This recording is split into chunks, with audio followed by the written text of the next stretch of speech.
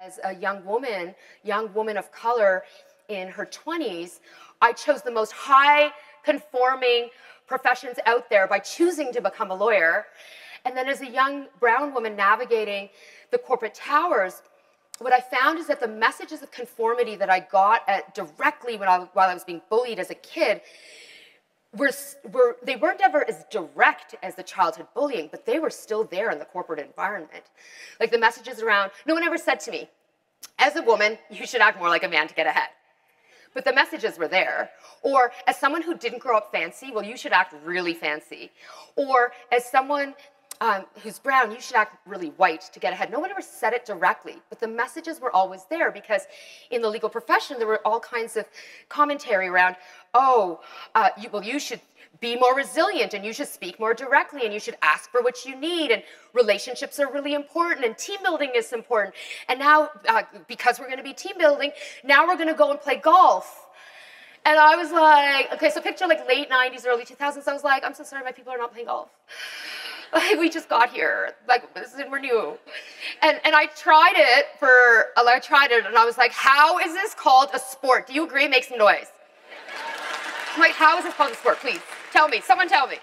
And then, because it's Canada, and you know this, Calgary, we only golf for like three minutes anyways. And then it was like, no, no, Ritu, we're team building. We're going skiing. And I was like, I'm so sorry. We're doing what? And then I was like, there I was in my 20s trying to learn how to ski. And what I realized is, oh, ski in Ontario, everyone, we call them mountains. so what we're really actually doing is pretending to ski on these things that we call mountains. And so I tried to pretend ski on these mountains on the bunny hills with three year olds. I'm not joking at firm events. And I'm like, talk about epic humiliation. And then what I realized is if you learn to ski in your 20s, you can die. And I'm like, F this noise. I'm out. Bye. But then, but then I watched so much hockey. And then I drank so much beer and I'm like gluten intolerant and like it was bad. Um, I ate a lot of steak, but I love steak in Calgary. I love you.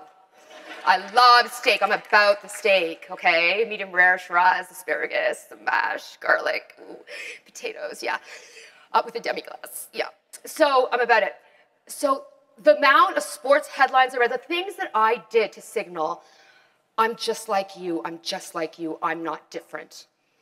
And here's the thing when we change who we really are to fit in, yes, the doors do open, but they never, that experience, fitting in, will never replace actual belonging.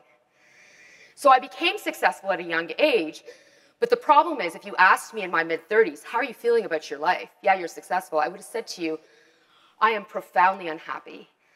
I'm, i feel spiritually vacant. I don't know who I am anymore.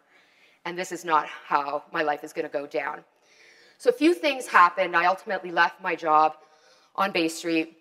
I started my DI consultancy, and now I travel literally around the world, often by a green light now, but now in person, having to, uh, getting to use my clothes again, woo, uh, to speak about this message. And you know what's really interesting for me that I have found is the following. When I was struggling in the towers, I thought it was just me. I thought I was having a singular experience. It was just me. But now I realize that no, this struggle to belong in the workplace and in society at large, this is a collective experience. In fact, as I have been speaking, make some noise. How, for how many of you has my story been resonating? Make some noise. Yeah.